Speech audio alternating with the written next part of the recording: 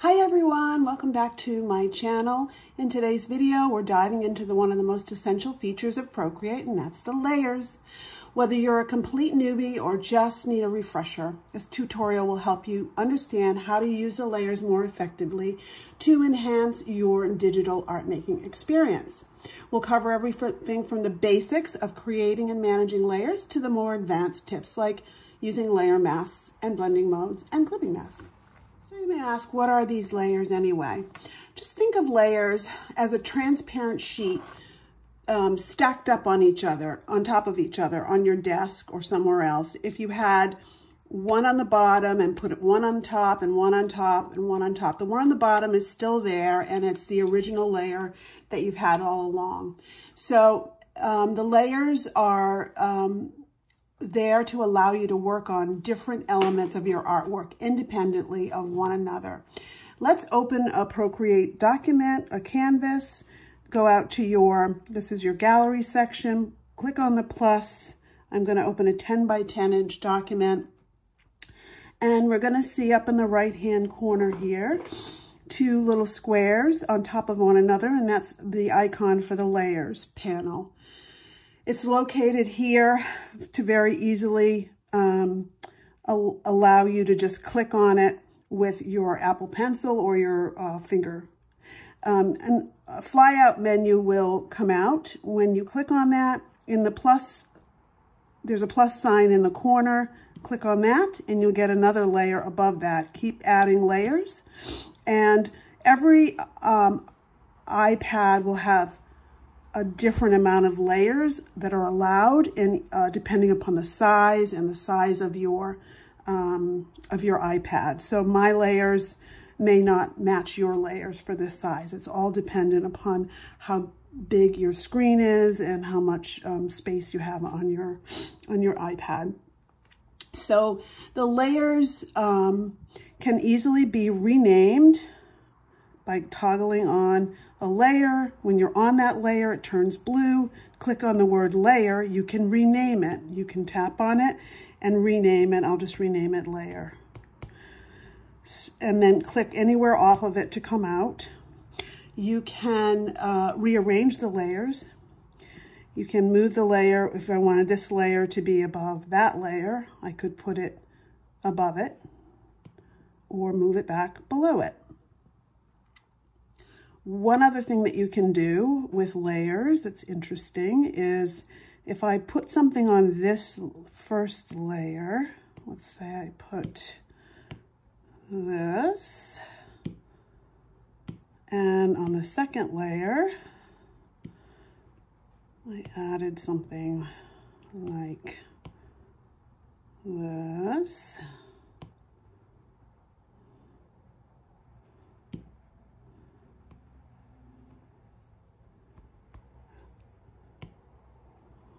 Layers aren't very easy to draw. So these two shapes are on se separate layers. I can um, merge the layers to make one shape by clicking on them. And now they're one, uh, one object. They're no longer editable when that happens. So we'll delete that. Okay, let's talk about clipping masks and layer masks. When um, you want to put some artwork on top of one of your shapes, there are a couple of different ways that you can do it. Let's talk about the clipping mask first. If I go to my layers panel, you'll see that I've stamped on a little shape of a tree or a leaf. And the layer above it, I've added some stripes. And the way to make the stripes um, be integrated into the shape underneath it is to create a clipping mask. So to clip on, to click on that layer, click it, and then find clipping mask, and it is now merged with the layer beneath it, but still fully editable. If I wanted to move it, I can go up to the move tool over here and move it around. I can also go into the layer that it is on and reduce its opacity. And I can also work with what's called blending modes. The blending modes um, are underneath it. And as you flick through the different blending modes, it affects the color and the texture of um, these two elements together. So have a play with them. They're really fun and can give you some interesting uh, results. Um, and you can just do a lot of different things with them. But they take practice. Okay, so next I want to talk a little bit about my other favorite, which is called the layer mask. Layer masks work a little bit differently. I have my little tree again. And above it, I've created some dots, some pink dots. And let's say that I really want to get rid of the, some of the dots, edit them out in some way. Uh, another non-destructive way to do this is to um, use a layer mask. So what I'm gonna do is click on the layer with the dots and go to mask, click on mask. And within that mask layer, I'm on the mask layer, uh, you have to remember this little, these two little phrases, black conceals and white reveals. If I go to a black, pure black, which is uh, in your uh, brushes, your color profile here, it's all the way down in this square corner here. It's got to be pure black or gray won't work. It will not get rid of um, all the, all the uh, image. So it's got to be pure black and pure white. So I'm on my pure black and I can go and just paint out the ones that I don't want. And so you see in the corner here, what I've painted in black is shows up here, but they all are still there underneath. So let's say I'm going to do the reverse now. I want to bring them back, go up to white, pure white, and then paint them back in. Make my brush a little bigger. That's another method. So this can be used in a lot of different ways. This, these masking techniques are um, a lot of fun to to use and to understand. So the way to delete the mask, if you decided you don't want a layer mask, slide it to the left and delete it. And everything is still there. So these two methods are fully, make your work fully editable and they are non, uh, non-destructive methods to um, protect your layers. Okay, that's it for clipping masks and layer masks. Okay, let's talk about how to put what we've learned into action. Um, I've created a little, very simple little drawing of a vase and two flowers um, within a, this is about a 10 by 10 inch square. And I've created a layer for um, what looks like a table underneath it. Let's look at the layers a little bit and practice um, understanding um, what, what they are and how to understand the layers panel. If you look at this layer, we have a background color, which is toggled on. Let's toggle it off and you'll see that it disappears. I have a layer, this yellow is toggled on, then toggled off. Now notice that it is underneath the vase but if we were to move that, we can move it by um, clicking on it and then you can use your finger or your, um, your Apple Pencil. Of course, it's not going to do it. Move it by lifting it. Now that would put it above the vase.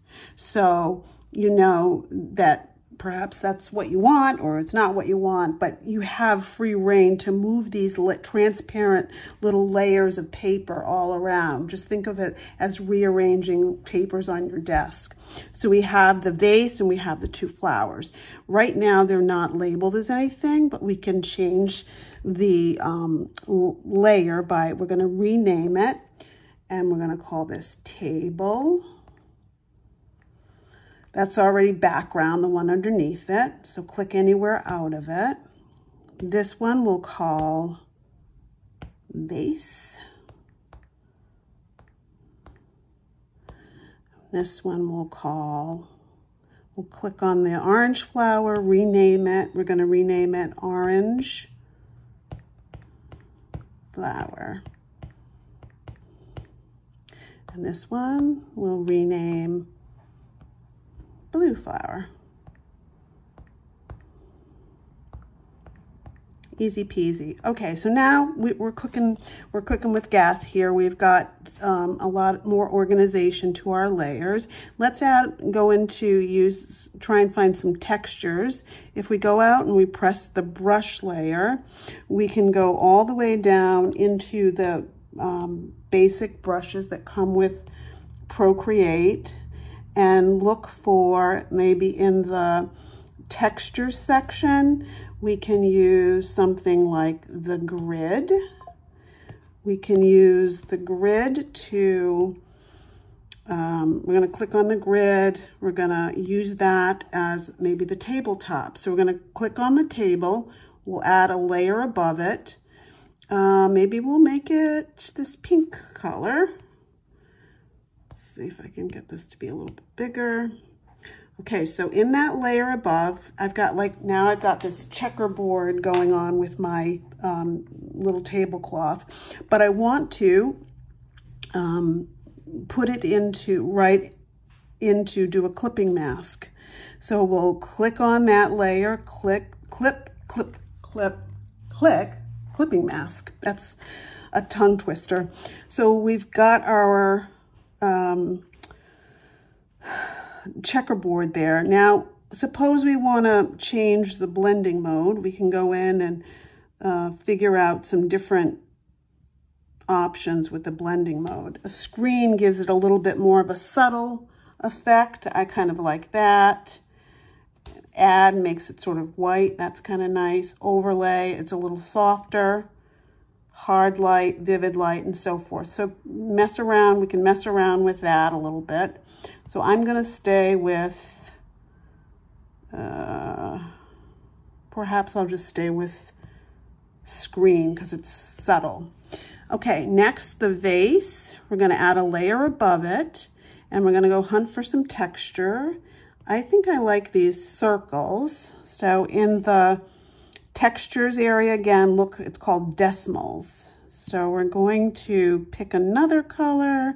Maybe this one I'll use this this lighter purple. I'm above that layer and I'm gonna just begin to paint on some texture. That's fun. And so I am gonna clip that onto my base and it's not coming out of the edges, but it makes me kind of think it's blending into the background. So I might wanna just mess around with my, my background color. Oops.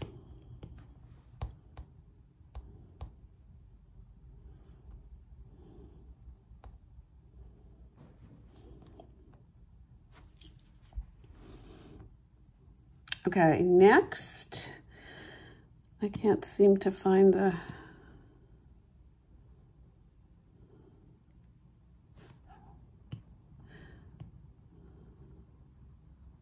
I was trying to figure out what, what happened there. I had a blending mode on the vase. So if I now change the background color, it looks a little bit better. Okay, so um, let's work on the flowers. Uh, I am gonna use another color perhaps for the, let's work on the orange flower and maybe we'll put yellow in the orange flower. We're going to go back out to our textures. Maybe we would just use a little bit of um, this one called Rosette. I'm going to do a layer above the orange flower. And we're going to add some of that texture. And we're going to do a clipping mask. And it gives us a little bit too dense, I think, but uh, let's try this diagonal. I like that, that's fun. We'll use the diagonal and we'll do the same thing. We're gonna click on that layer and add a clipping mask. Okay, and now lastly, we're gonna do the blue flower. Maybe I'll do a little bit of something orange on that blue flower. And we can add a little bit of grunge. What's that like? Oh, I like that. Okay. So the grunge, we can maybe add some grunge. I'm